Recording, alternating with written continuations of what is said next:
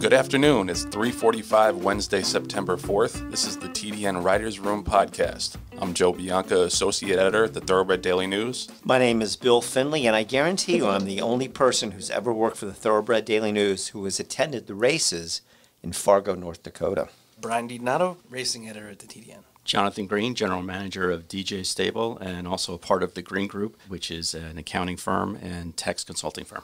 So we already have something different from last week. We have a guest. It's John Green of DJ Stable, owner of A Thread of Blue, who's running in the Jockey Club Derby this Saturday. John, welcome to the TDN Writers Room Thank podcast. you so much. It's very exciting to be here. So I guess we'll start with a basic kind of overview of how you and your family got into thoroughbred racing. Basically, it occurred about 30 years ago, if you can believe it, where we were uh, had an opportunity to go to Monmouth Park with one of our neighbors. Um, sure enough, the uh, the neighbor owned a $5,000 claimer. The horse won. I got to win a you know five dollar win ticket on him. I was eight years old, so twenty dollars in my pocket was a huge deal. Plus, I got a free hot dog, so you couldn't beat that day.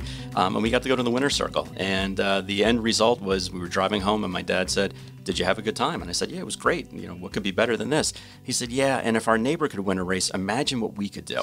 And like I said, that was 30 years ago, and 2,100 wins ago, and 8,000 losses ago. But uh, we've always enjoyed you know racing and competing here on the Jersey Shore. And you have you have children, right? I do. I have two daughters. Um, one of which is actually very involved in the um, the breeding game. She's been to Keeneland with me. She's been to the Saratoga sale and really enjoys that aspect. And the other one is not so uh, involved in racing, but she loves naming the horses. And we just actually named a horse after her uh, alma mater, Colby, uh, after Colby College. Um, and Colby will be running in a stake race at Monmouth Park in a couple of weeks. It's Maine, right? Correct. Yeah, Yep. okay. Exactly. Incidentally, we named another horse Maine as, as well. that wasn't So taken. I know. It's it's really. I think it was the only state in the union that wasn't that wasn't accepted yet. So. All right. All right. So we'll get to the horse. We'll get to the big horse first. The Thread of Blue. I feel like there was a little bit of a question about him going a mile and a three six, a mile and three sixteenths, and he proved the doubters wrong. Now he's going a mile and a half. What was the decision making process in terms of whether or not to tackle that? You know, that's a great question. It, we go back and forth um, whenever we talk about a specific horse, especially at this level, because there are so many opportunities to run in big ticket races, especially this time of year. The opportunity to run him up at Saratoga in the Saratoga Derby was daunting. Um, as you mentioned, he hadn't really won going more than a mile and 16th, so to add on an extra furlong is, is a little daunting, especially for a front running horse. Kiaran McLaughlin really did a phenomenal job getting air into the horse, training the horse, and between his training and Luis Saez's, you know, expertise on, on the front end, that's really what en- enabled the horse to uh, go to the front and never look back. And, and John, now if you look back at the situation, the purchase of the horse at Ocala for four hundred and thirty thousand dollars, even at that money, that's turned out to be a very good buy. Would be a Grade One winner, except that last race was in its inaugural running, so it was not a Grade One. But usually at that sale, people are not looking for mile and a half grass horses, and this horse doesn't really have that much of a grass pedigree. I can't imagine you, your father, your family were thinking, "Hmm, we're going to spend four hundred and thirty thousand dollars on this horse someday. Win a mile and three sixteenths grass race at Saratoga." He must have turned out to be yes, good, like you thought he would be, but not exactly the kind of horse you thought. Not exactly. You, you're, you know, your point is, is well taken, Bill. I think anytime you buy a horse, regardless of the amount, you're going to have a preconceived notion of where you think the horse is going to run. As we know, they're athletes and they're temperamental, and sometimes your best guess is not what they're willing to do. The very first race, we actually tried him on the dirt because we anticipated him being able to handle, you know, the, the dirt race. And uh, I think he beat one horse in the ambulance, and that was it. So then at that point, we decided to try him on the turf because he does have a lot of European blood. The uh, the mare in, enthused actually has produced four graded stake winners um, on you know in Europe, and because of that, we thought, okay, the turf may be uh, ultimately what he wants to do, and kind of the rest is history. But you're right. Anytime you, you spend that kind of money on a horse, you're hoping that he's going to go two turns on the dirt because that's where the big money is. But I think that's starting to change here. That the climate and the interest of turf racing here in the United States is starting to, to improve. In terms of stretching him out, has anything in his training or anything in his demeanor changed as he's gotten older and he's, as he's matured? You know, that's a that's another good question. I think Blue, personality wise, has changed a little bit. Um, once he won the, three races in a row, you could see his confidence build. and he started walking around the barn almost like King Kong. I mean, he, he really was ready to take on all comers at that point. And horses are like that. They get that kind of enjoyment and excitement about being the alpha, and that goes from thousands and thousands of years of, of genetic, uh, you know, breeding.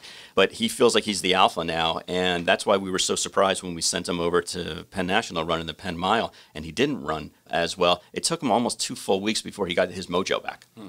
So now looking ahead to Saturday's race, uh, what do you make of the field and how do you like your chances? You know, we when we sat down with Kiaran uh, about two weeks ago to decide if we were going to run the horse in the uh, in the third leg of of this uh, turf trinity, there was the question of can he go this far? Can he go a mile and a half? And you really don't have a lot of basis to to make that estimate.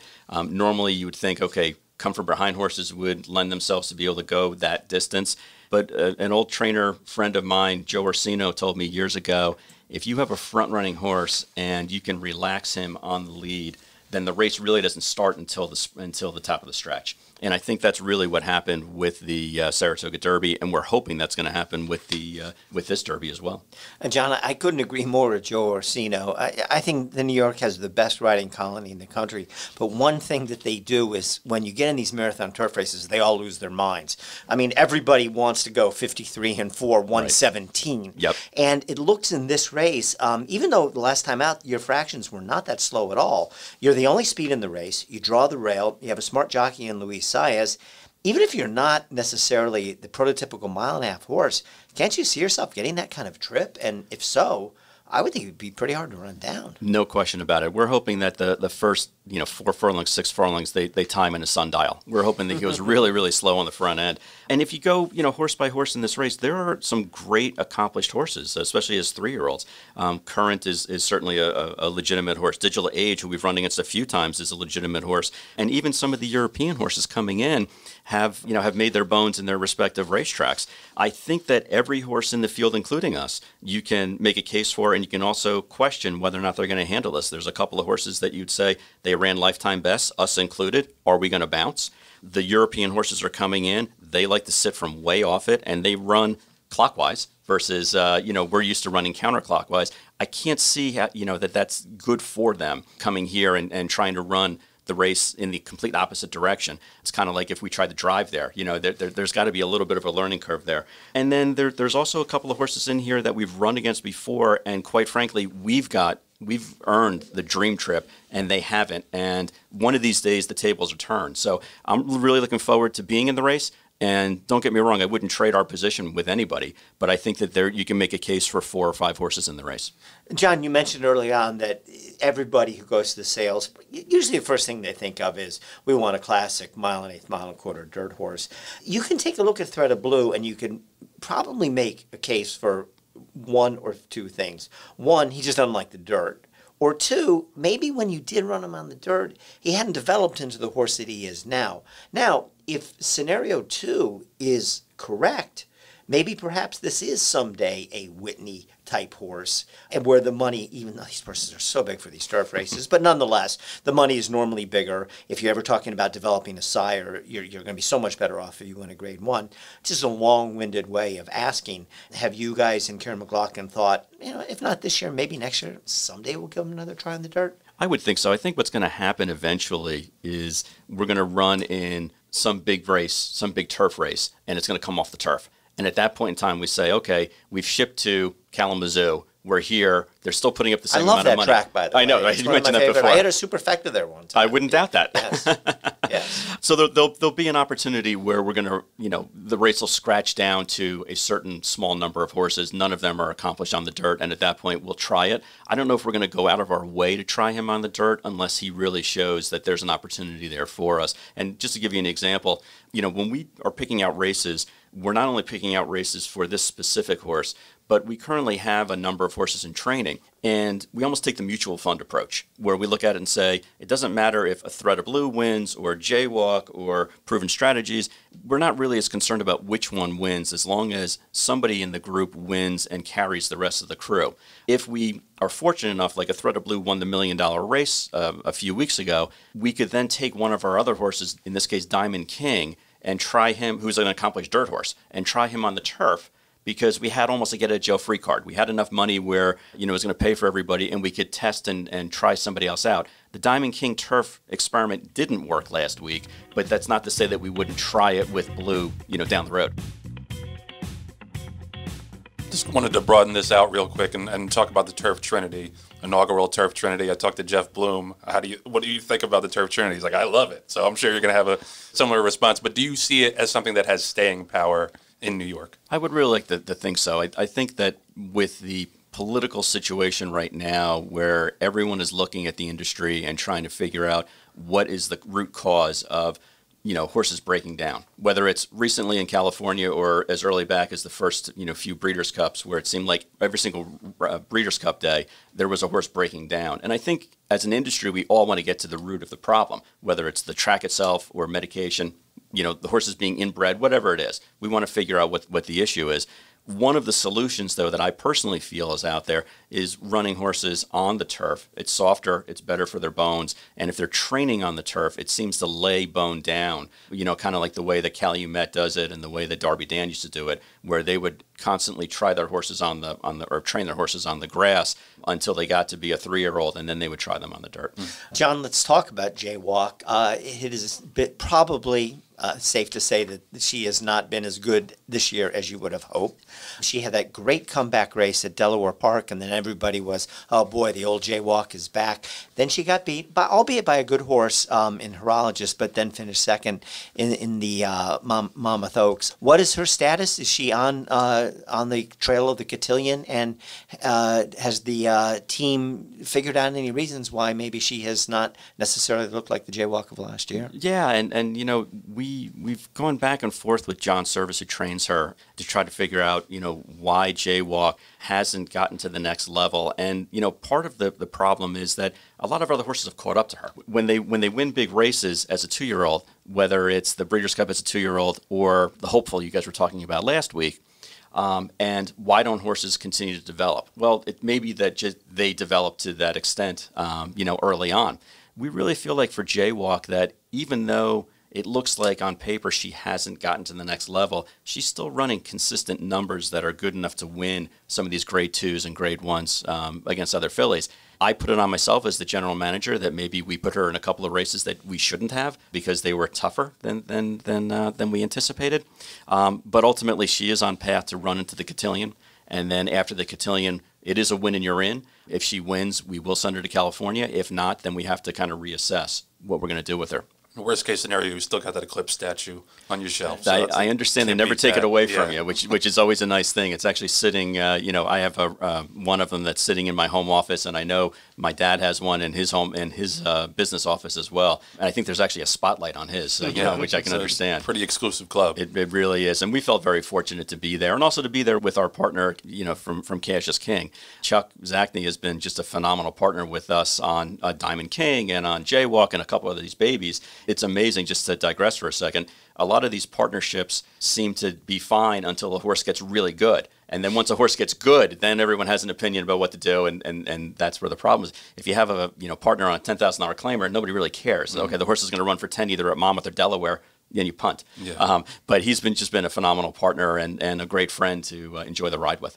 Uh, speaking of Jaywalk, you found her in book four of Keeneland September, if I'm not mistaken. Uh, I assume you're planning to go back there this weekend? Uh, Absolutely. We'll, we'll certainly attend Keeneland. It's been uh, historically a great sale for us um, as far as rate of return and as far as stakes winners and stakes performers. Um, as you mentioned, we found Jaywalk in book four. My understanding is that there were just as many grade one winners out of book four and five combined as there were in book one, two, and three combined over the past three years. So you can find good horses anywhere. How do you typically prepare for such a large sale?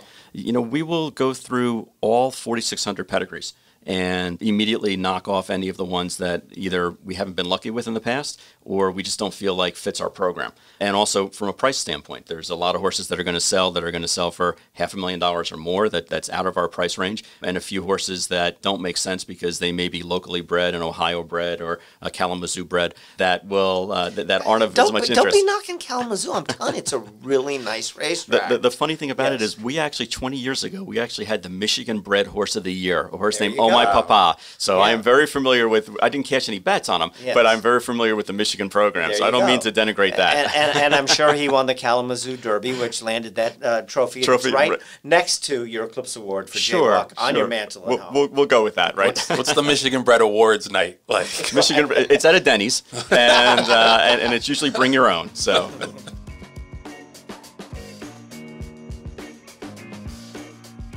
Okay, so I guess we're gonna we're gonna segue here to the past weekend's racing. A lot of big races, and John, if you want to stick around and chime in, we're love to. happy to. have you. So I guess we'll start with the hopeful. We did a little thing on the hopeful last week, as you mentioned, John. Steve Asmussen, yeah, Steve Asmussen had a really good hand heading into it, and couldn't have worked out better. Ran one, two, three. Basin is the one that was the longest price of the three, and he ended up dominating both of his stablemates and the rest of the field. Looked like shoplifted, ran on late, started to find his feet pretty much in the second half of the race. What stood out to you guys, and feel free anybody here, about the hopeful and the performance of Basin?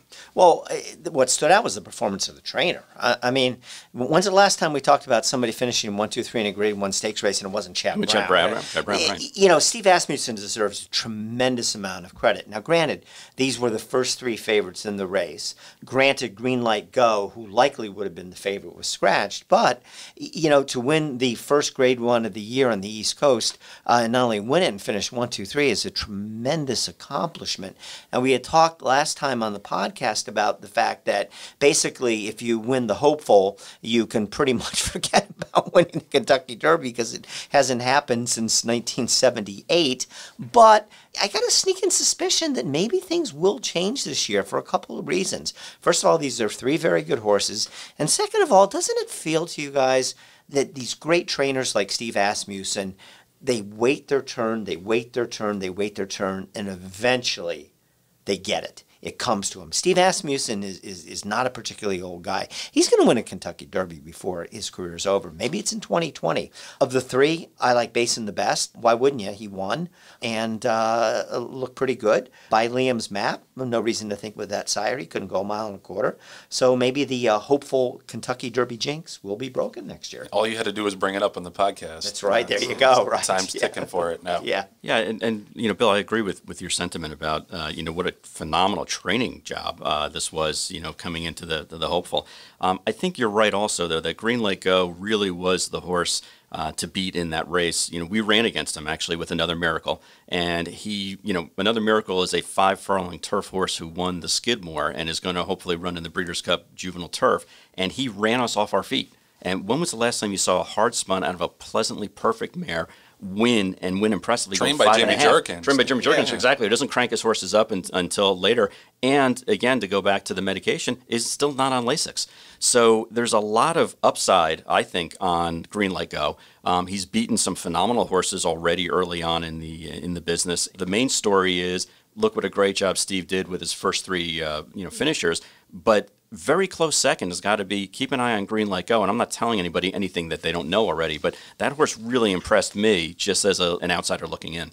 And uh, speaking of turf sprinters, I'd love to see Gozilla in a turf sprint. I think he has turf sprint written all over him. The Dam was a turf miler. She's a half to, I think, two graded stakes winners on the grass. And he's just one of those horses who seems a little too quick maybe to want to stretch out. And he looked really good at OBS April on the synthetic. So I think he's probably a turf sprinter. I, I think you're right. I think if you look at his genetics, it, it says turf sprint uh, all over it. Gary Barber incidentally bought 25% of him Right. before this race, and the rumor is that he bought it for a million dollars. So the horse was, was basically a $4 million valuation. I'm not sure they're going to go immediately to a five furlong sprint Right. based on that valuation. I think he did it based on, hey, I want this horse to run in the, you know, in the classics or at least, you know, some of the opportunities uh, that avail themselves over the next couple of weeks. But you're right. If you look genetically, that horse absolutely screams sprint turf.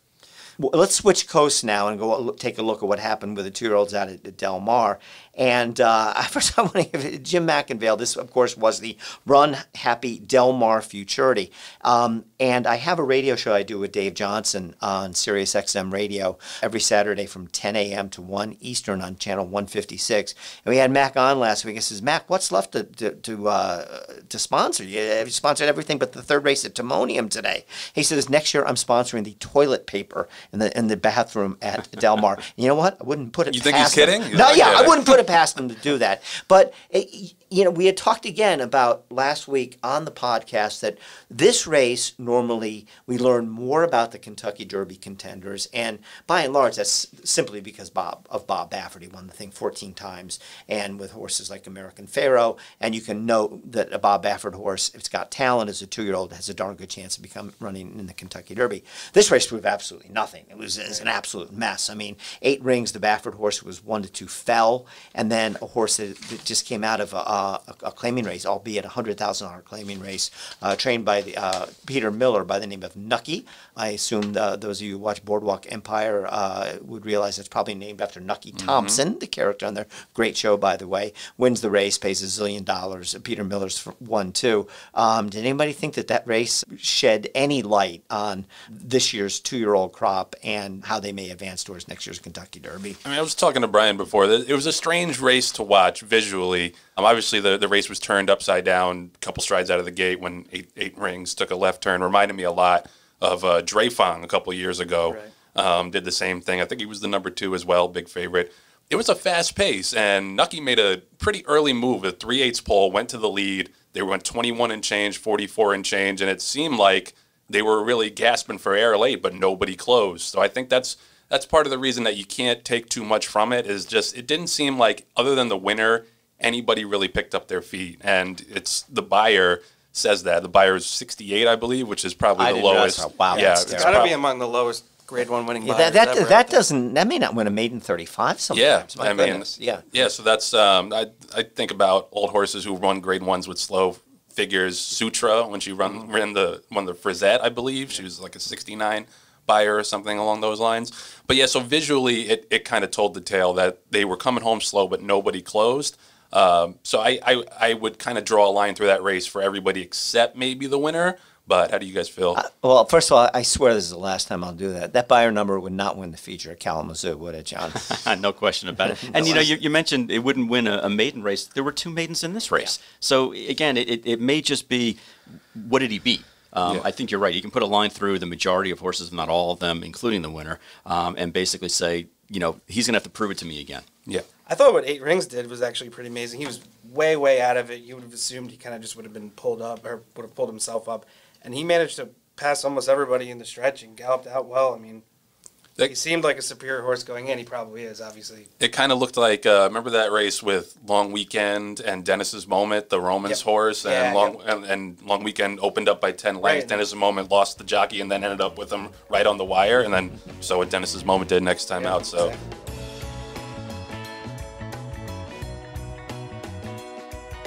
One thing I wanted to touch on before we moved on from last week's races was the Woodward, and I thought it was a pretty gutsy effort by Preservationist and a kind of an interesting horse who took a long time to put things together. I think he might have run like five or six times in, in three seasons, and now he's put three races together. He was dominant in the Suburban, didn't run that great in the Whitney, but really bulled through traffic in the stretch to take the Woodward. And it kind of made me think about the older male dirt division. And last year at this point, we had Accelerate, who was well on his way to a championship. There really was nothing that anybody could do to be a fly in the ointment there. But this year, I mean, you look at the big races. The Big Cap was won by Gift Box, the Gold Cup, Vino Rosso, the Foster, Seeking the Soul.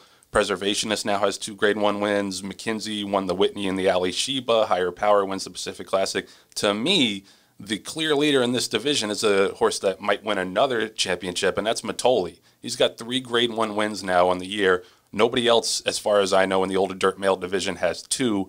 Does anybody have a problem with Mitole winning both of those awards? Yeah, I, I got a big problem with that. He's a he's a sprinter, I, and look, and I'm old school. I believe that he has the sprinters have their own category. Leave it to, to that. Yeah, I mean you can't. It's not fair because if you give him the Eclipse Award for both sprint and root horse, well, McKinzie he's not he's not uh, eligible for the sprint award.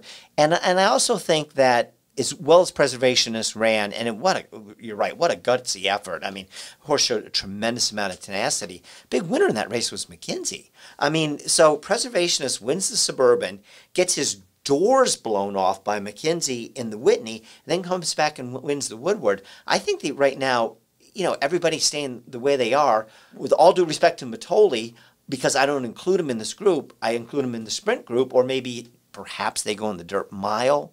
I don't know what their plans are, but I would think the sprint would be more likely. I, I just think it's McKinzie and everybody else. Uh, and and uh, you know, he's going to go in the awesome again. He should win that. And uh, unless he lays an egg Breeders' Cup Day, which I don't see, it's going to be hard to surpass that horse. I think it would have been a stronger argument for McKinzie if he hadn't lost to Mitole. Now, I understand he had trouble in the Met Mile, but they faced head to head, and, and, and Mitole beat him. So I think at the end of the year, that's going to hold a little bit of weight.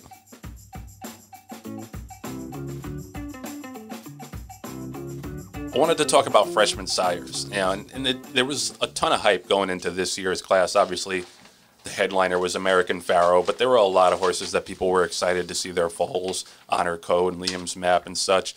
I think some of them might have gotten off to a little bit of a slow start. Liam's Map didn't have that many winners, but then he had a pretty uh, pretty seismic winner with Basin. Do you guys think that this class has lived up to the hype so far? And what do you think about them going forward?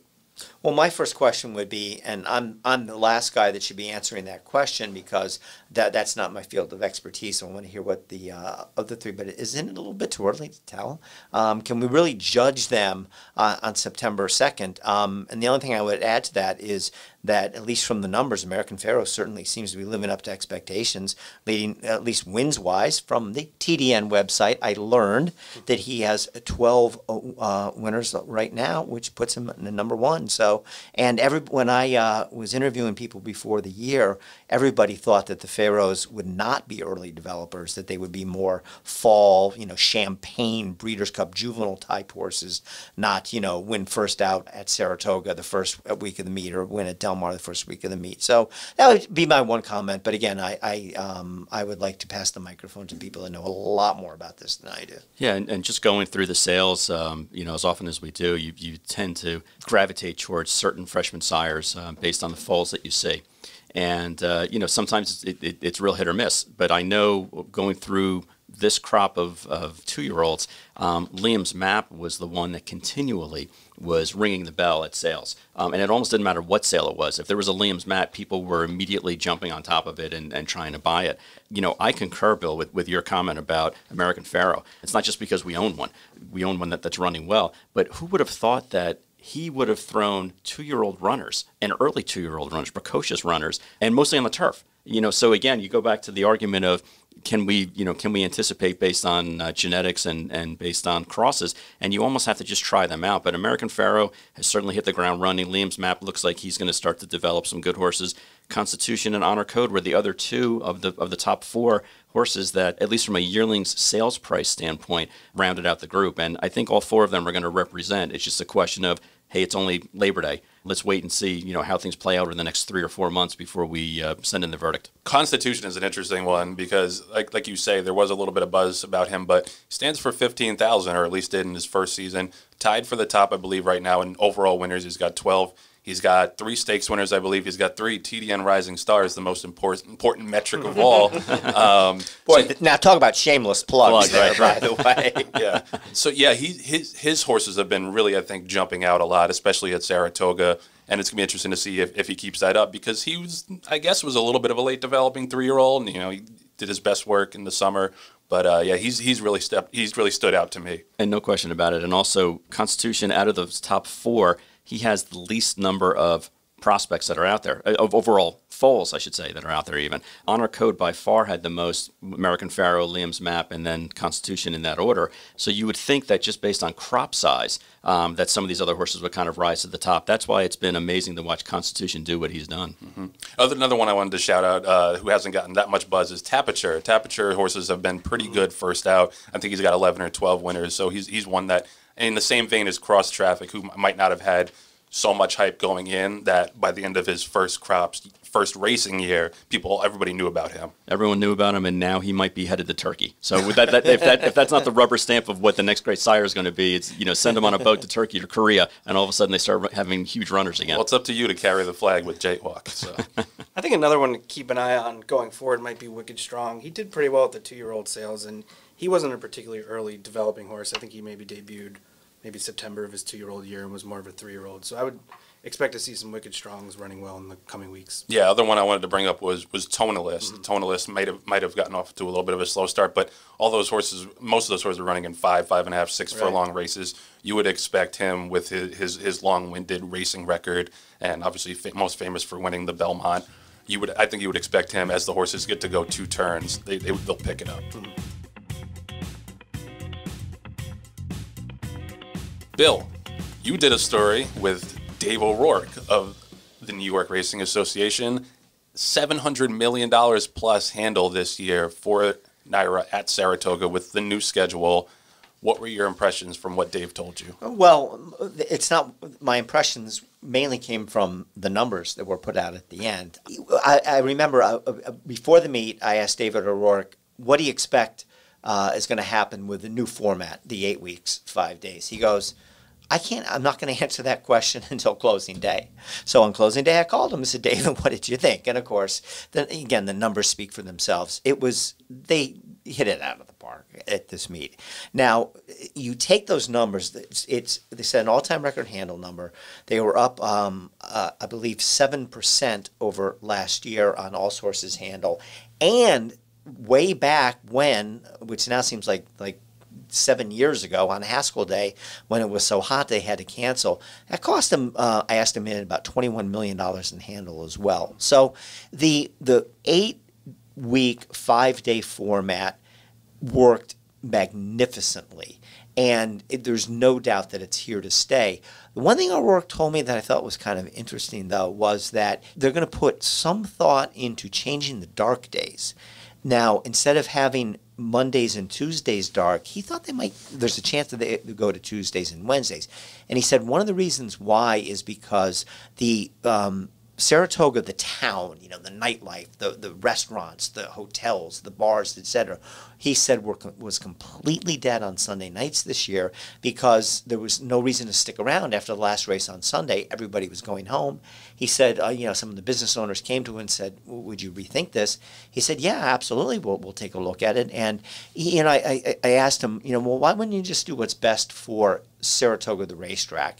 And I really liked the answer he gave me. He says, because this is about much more than just the racetrack. Saratoga works because of the entire community and the entire Saratoga experience. He said if if the restaurants are dead on Sunday night, that's not good for Saratoga, the town, and what's not good for Saratoga, the town, is not is not good for the New York Racing Association. So that was a really good answer. Um, it was his his first time up there running the show um, after he got promoted you know, everything everything went right. You know that you're always going to have a few problems. It was tragic and, and kind of bitterly ironic. At the very last race of the meet, a horse broke down and had to be put down, which was, geez, you know, you get that far and then it happens in the last race. The weather was was reasonably good. Um, I didn't get the final amount of off the turf races, but um, it was fewer than last year. They found a formula. It's here to stay.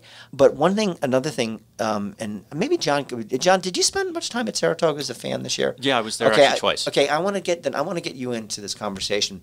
One thing that was that was amazing was that the on track numbers I didn't get the attendance numbers, but the on track handle numbers are actually down this year, just just by a smidgen.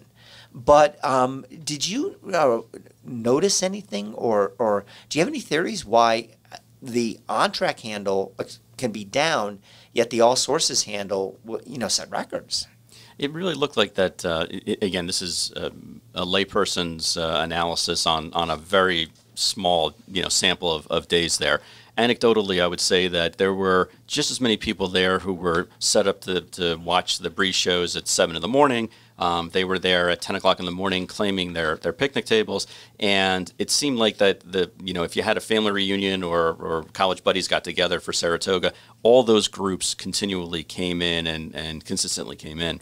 Um, I think that a lot of people were betting on races, and then for a few days um, during the meet, there were very small fields. And you guys talked last week about um, the advantage or, or, or one of the benefits of a Kentucky Downs where they have 12, 15 horses in a race, and that's a handicapper's paradise. And I think that for a, a smidgen, just for a few uh, racing days at Saratoga, where whether it was because of the weather or, or, or scratches because of the heat or, or horses just got sick, but there were you know four, five, six days within a two-week period where most of the average uh, races had six or seven horses in it, um, if not less. And it's tough to handicap and bet and want to bet on that on those kind of fields. Um, you know when they come up that way. That's the only thing I can come up with though. I just wanted to ask a follow up on that. How much do you bet? How much do you handicap? Like how, how big of a part is that of your track experience is that? You know, for, for me, the, the bet is when you write the check and you buy the horse because Yeah, you're never going to make up that, that, that, that money. That being said, I do enjoy occasionally betting on a horse, especially if, if I feel like, hey, this is a first time starter of ours that we feel like is, is going to do well, or we know that there were a couple of excuses as to why a horse didn't run well, or also we ran in a really tough race and that's a that's a key race for, for other horses, and they're going on and running in other races, and we feel like that there's an opportunity there. Interestingly enough, last year the uh, there was a letter that came out from Dennis Drazin, who who you know is director at Monmouth Park, prohibiting us as licensed owners from betting of any kind at Monmouth Park. So this summer we were allowed to go and root for our horses and, and certainly buy you know a hot dog if we wanted to, but we were forbidden from betting, and we, there would be sanctions of, of possibly losing your license as an owner if you wanted to bet. So I'm not a good person to ask about Monmouth Park, but when I go to parks or I go to Kentucky Downs or Saratoga, if there's an opportunity, I'll certainly you know throw a couple dollars on a horse. On the Drazin thing, A, do you know what precipitated that? And B, if so, can you tell us? I, I I'm gonna plead the fifth on that. Okay, that's what I figured. Can't you send your Aunt Esther to the window to bet for you? You, you probably could. You probably could get a surrogate to, to do it, you know, if, if you wanted to, or get a runner. But for me, it's just not worth. Right. Yeah, it's not worth. it. no, not knowing the answer, it sounds like some. It- It's such a dumb idea, and Dennis is such a smart, Smart guy, guy, yeah. and such a good racetrack operator. It had to come from the racing commission, and, Yeah. and I don't know that for a fact, but I, I would bet um, bet my last dollar that was something completely idiotic that came out of the po- politicians. Yeah, Dennis Drazin doesn't seem like the kind of guy that'll tell people No. not to Yeah, bet. yeah, exactly. On his Yeah, own it- accord. yeah. Dennis is way too smart to, to do something like that. Yeah. So we talked about the handle increase at Saratoga and the record handle. Not so much for Del Mar. Delmar had a down meet in terms of handle and attendance, but one thing they did have going for them was no racing fatalities. And I think at this moment, that's kind of an important thing, an important headline to get out there for the sport. And I just being at Saratoga this year, there were a lot of anti-racing protesters when you walked into the gate, and that was not that was something I personally had never seen before. So even though Saratoga in New York has a pretty good safety record, they're they're they're kind of focusing on on all of racing at this point, and I think it's kind of big for Del Mar to have that kind of flag to put in the ground. And they've been doing this for a while. The safety record has been getting better and better at Del Mar. They they've been instating new safety protocols. John, as an owner, how big do you think that this is to have a big boutique meet like this report no racing fatalities? Oh, no question, it's huge. I mean, just from from an outsider on the East Coast, we're keeping tabs on that. You know, we're fortunate enough where we have four different horses running in win and you're in races over the next four weeks. If there was a concern about safety, they would not be getting on a plane and heading to California, even if they won, because ultimately you want to preserve and protect, you know, your athletes. That being said, the fact that there's uh, there was a quote unquote a clean bill of health at, at Del Mar certainly makes me feel better. I would love to see the additional safety changes that are being implemented at Santa Anita. We're hearing rumors and speculation, but it looks like that for the most part they're putting their money where their mouth is and they're and they're uh, taking care of that racetrack. I'm sure Del Mar would have loved to have had better handle numbers, but I'm sure if you asked the people that run that place, if you had two choices, you could have zero fatalities and be down X percent in handle, or be up Y percent in handle and have seven or eight horses break down. They would have chose the the uh, um, the first part in a heartbeat. This was a huge win, not only for Del Mar, but more so for uh, all of Southern California racing. And I think what it did more so than anything else is it took the heat off of Santa Anita. Because, you know, it, Del Mar was not the poster child for all the everything that's wrong with horse racing to the animal rights community. Santa Anita was. And now, if they had had a bad meet at Del Mar, then they could have lumped that in with Santa Anita. It would have stirred up all the crap all over again, and then the protesters would have been lined up, you know, 50 deep around Del Mar. It allowed everybody to take a deep breath. And when Santa Anita reopens in a couple weeks, you know, there's going to there's been an element now where people tend to forget things over time.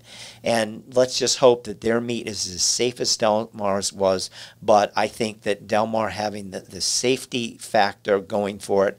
There were was what uh, I know there was the accident where two horses uh, mm-hmm. collided with one another and I believe one I think horse there were four total. Were Four total, but yeah. none none during racing, right. Right. which is absolutely huge. I think that that was one of the, the best good news stories we've had in horse racing this year. I wanted to bring Brian in on this too because you're a racehorse owner too, and you manage a partnership. I think with uh, people buying in um, at, a, at a lesser fee. Do you have more casual fans that you kind of try to attract into that? And if so, do they mention this to you? Do they mention the, the racing fatality kind of rash that we had at Santa Absolutely. Anita? I've gotten a lot of questions about that, and we have a few owners out in California, and I've talked to them about it, and they were kind of at first interested in maybe me trying to put something together out there, and then they kind of quieted down, and we're happy to focus on other jurisdictions. Uh, it's definitely a question I field frequently among our co-owners. And what do you say? What do you say to people when they ask you about it? I mean, I'm as straightforward as I can. Obviously, we're all in this for the best interest of the horse, and I think getting that other perspective and seeing how how we are with the horses and how we view our horses, I think they kind of see that, you know, it's not maybe what it's always what it's made out to be in the media. I think like a, a, a big bit of pushback towards the the racing's negative image right now is the counter protesters, is, is right. the people that work in racing and the backstretch workers who show up and they I think that's key is that pe- people who are closest to the horse if they can show casual fans and and, and laymen that they they're about the horse right. in general like that that's that's their daily life they don't do this for the money it, it really resonates if you have someone that's on the ground a bunch of people who are on the ground who can tell you about how much the horse means to them. I think that's big. All right, so that's all we got for you today. I want to thank Brian DiDonato, Bill Finley, and especially John Green, our first guest on the TDN Writers Room podcast. Great job. Uh, this is Joe Bianca signing off for the TDN Writers Room. We'll see you next week.